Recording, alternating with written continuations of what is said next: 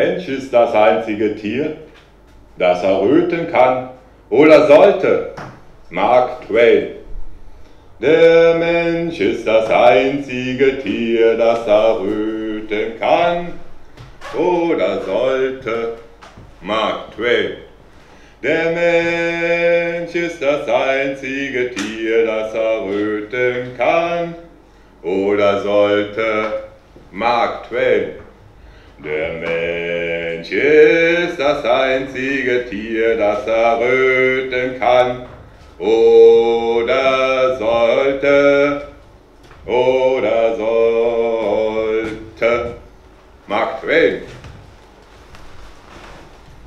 Ich lese gleich einen Ausschnitt, einen kurzen Ausschnitt aus dem Buch Wildes Tier, weißer Mann von Bernhard Schimek vor, aus dem Brockhaus Verlag Leipzig 1969. Bernhard Schimek, Wildes Tier, weißer Mann. Ich hatte einmal so einen Hasen namens Theodor, der bei uns in der Wohnung herumlief und alles andere als schüchtern war.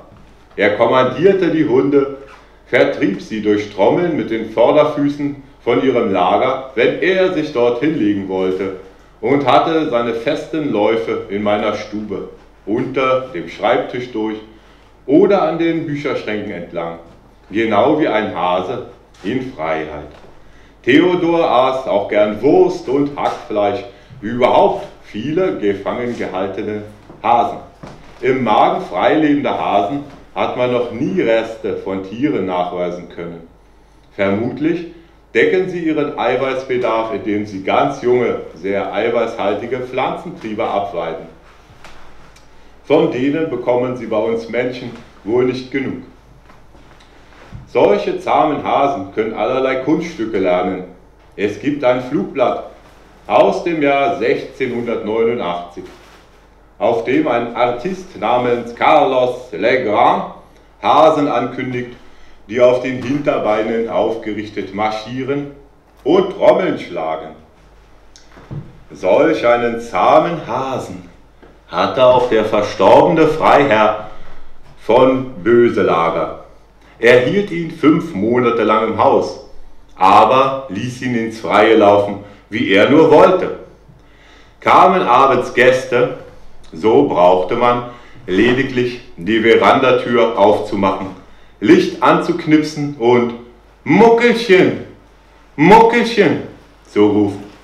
Dann kam er aus dem Freien ins Haus, sprang seinem früheren Besitzer auf den Schoß und störte sich nicht daran, dass oft ein Dutzend fremde Menschen im Zimmer herumsaßen. Zwar hatte man ihm ein Ohr abgeschnitten, damit er nicht versehentlich bei der Jagd mit erschossen würde, aber eines Tages wurde er dann doch von einem Raubtier umgebracht. Bernhard Schimek. Aus seinem Buch, seinem wunderbaren Buch, unglaublich gut geschriebene Buch Wildes Tier, weißer Mann, das Schicksal der Tierwelt in Eurasien, Nordamerika. Brockhaus Verlag Leipzig, 1969 der Sohn des Freiherrn von Böselage ist höchstwahrscheinlich der mutige Widerstandskämpfer Herr von Böselage, der gegen Hitler gekämpft hat. Der Sohn.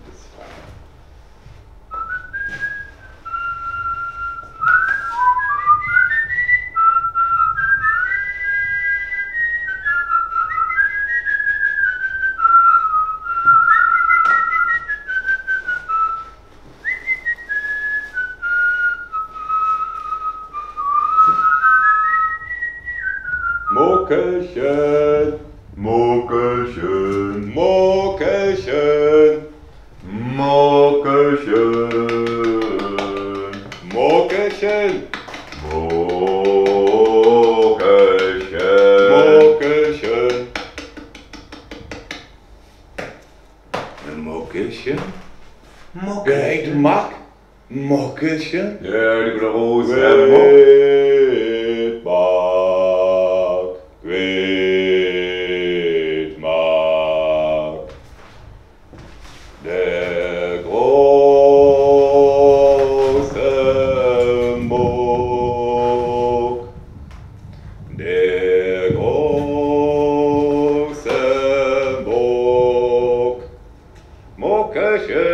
Mokertje. Mokertje. Mokertje.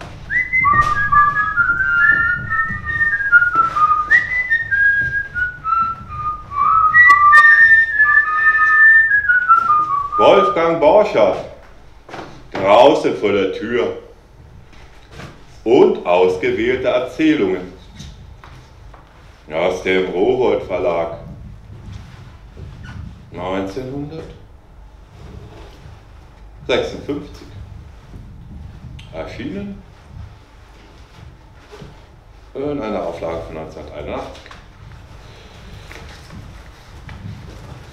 Nachts schlafen die Ratten doch. Das hohle Fenster in der vereinsamten Mauer gähnte blau-rot voll früher Abendsonne. Staubgewölke flimmerte zwischen den steil gereckten Schornsteinresten. Die Schuttwüste döste. Er hatte die Augen zu. Mit einmal wurde es noch dunkler. Er merkte, dass jemand gekommen war und nun vor ihm stand. Dunkel, leise. Jetzt haben sie mich, dachte er. Aber als er ein bisschen blinzelte, sah er nur zwei etwas ärmlich berußte Beine. Die standen ziemlich krumm vor ihm, dass er zwischen ihnen hindurchsehen konnte.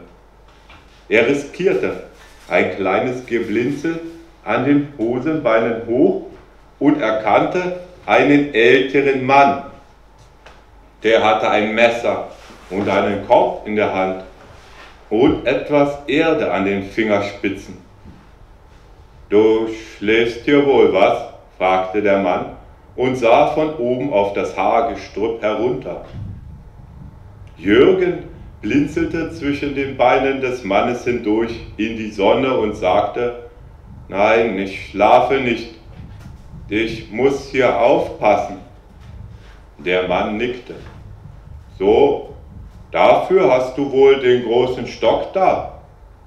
Ja, antwortete Jürgen mutig und hielt den Stock fest. Worauf passt du denn auf? Das kann ich nicht sagen. Er hielt die Hände fest um den Stock. Wohl auf Geld, was? Der Mann setzte den Korb ab und wischte das Messer an seinem Hosenboden hin und her. Nein, auf Geld überhaupt nicht, sagte Jürgen verächtlich. Auf ganz etwas anderes. Na, was denn? Ich kann es nicht sagen. Was anderes eben. Na, denn nicht. Dann sage ich dir natürlich auch nicht, was ich hier im Korb habe. Der Mann stieß mit dem Fuß an den Korb und klappte das Messer zu. Pa, kann mir denken, was in dem Korb ist, meinte Jürgen geringschätzig. Kaninchenfutter. Donnerwetter, ja, sagte der Mann verwundert. Bist ja ein fixer Kerl. Wie alt bist du denn? Neun.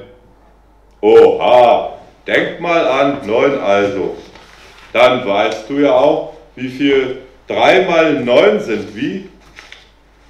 Klar, sagte Jürgen. Und um Zeit zu gewinnen, sagte er noch, das ist ja ganz leicht. Und er sah durch die Beine des Mannes hindurch. 3 mal 9 nicht? fragte er noch einmal. 27, das wusste ich gleich. Stimmt, sagte der Mann. Und genau so viel Kaninchen habe ich. Jürgen machte einen runden Mund. 27? Du kannst sie sehen. Viele sind noch ganz jung. Willst du? Ich kann doch nicht. Ich muss aufpassen, sagte Jürgen unsicher. Immer zu? fragte der Mann. Nachts auch? Nachts auch. Immer zu. Immer. Jürgen sah an den krummen Beinen hoch. Seit Sonnabend schon, flüsterte er. Aber gehst du denn gar nicht nach Hause? Du musst doch essen. Jürgen hob einen Stein hoch. Da lag ein halbes Brot und eine Blechschachtel. Du raus? fragte der Mann. Hast du denn eine Pfeife? Jürgen fasste seinen Stock fest an und sagte zaghaft, ich drehe, Pfeife mag ich nicht. Schade. Der Mann bückte sich zu seinem Korb. Die Kaninchen hättest du ruhig mal ansehen können. Vor allem die Jungen. Vielleicht hättest du dir eines ausgesucht. Aber du kannst ja hier nicht weg. Nein, sagte Jugend traurig. Nein, nein. Der Mann nahm den Korb hoch und richtete sich auf. Na ja, wenn du hier bleiben musst, schade. Und er drehte sich um. Wenn du mich nichts verrätst, sagte Junge schnell, es ist wegen den Ratten. Die krummen Beine kamen einen Schritt zurück. Wegen den Ratten? Ja, die essen doch von Toten, von Menschen. Da leben sie doch von. Wer sagt das? Unser Lehrer. Und du passt nun auf die Ratten auf? fragte der Mann. Auf die doch nicht. Und dann sagte er ganz leise, mein Bruder, der liegt nämlich da unten, da. Jürgen zeigte mit dem Stock auf die zusammengesackten Mauern. Unser Haus kriegte eine Bombe. Mit einem Mal war das Licht weg im Keller. Und er auch. Wir haben doch gerufen. Er war viel kleiner als ich, erst vier. Er muss hier ja noch sein. Er ist doch viel kleiner als ich. Der Mann sah von oben auf das Hagestrüpp. Aber dann sagte er plötzlich, ja, hat euer Lehrer euch denn nicht gesagt, dass die Ratten nachts schlafen? Nein, flüsterte Jürgen und sah mit einem Mal ganz müde aus. Das hat er nicht gesagt. Na, sagte der Mann, das ist aber ein Lehrer, wenn er nicht mal weiß. Nicht mal das weiß. Nachts schlafen die Ratten doch. Nachts kannst du ruhig nach Hause gehen. Nachts schlafen sie immer, wenn es dunkel wird schon. Jürgen machte mit seinem Stock kleine Kuhlen in den Schutt. Lauter kleine Betten sind das, dachte er. Alles kleine Betten. Da sagte der Mann, und seine krummen Beine waren ganz unruhig dabei, was, du was? Jetzt füttere ich schnell meine Kaninchen und wenn es dunkel wird, hole ich dich ab. Vielleicht kann ich eins mitbringen, ein kleines oder was meinst du? Jürgen machte kleine Kuhlen in den Schutt. Lauter kleine Kaninchen. Weiße, graue, weißgraue. Ich weiß nicht, sagte er leise und sah auf die krummen Beine. Wenn Sie wirklich nachts schlafen?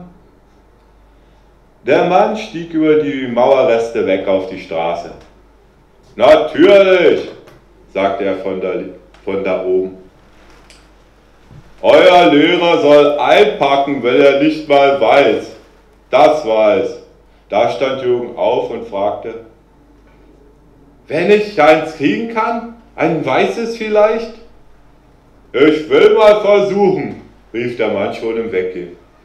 Aber du musst hier so lange warten. Ich gehe dann mit dir nach Hause, weißt du? Ich muss deinem Vater doch sagen, wie so ein Kaninchenstall gebaut wird, denn das müsst ihr ja wissen. Ja, rief Jürgen, ich warte. Ich muss ja noch aufpassen, bis es dunkel wird. Ich warte bestimmt. Und er rief, wir haben auch noch Bretter zu Hause, Kistenbretter, rief er. Aber das hörte der Mann schon nicht mehr. Er lief mit seinen krummen Beinen auf die Sonne zu. Die war schon rot vom Abend. Und Jürgen konnte sehen, wie sie durch die Beine hindurchschien. So krumm waren sie. Und der Korb schwenkte aufgeregt hin und her. Kaninchenfutter war da drin. Grünes Kaninchenfutter das war etwas grau vom Schutt. Die Erzählung von Wolfgang Borchert. Nachts schlafen die Ratten doch.